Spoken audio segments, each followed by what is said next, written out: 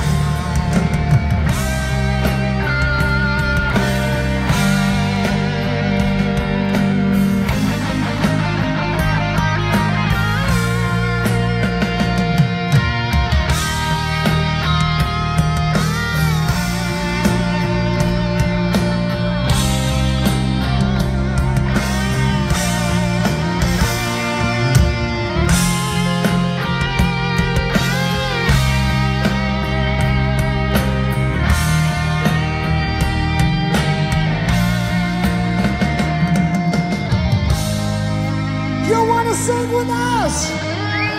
It's quite easy. One, two,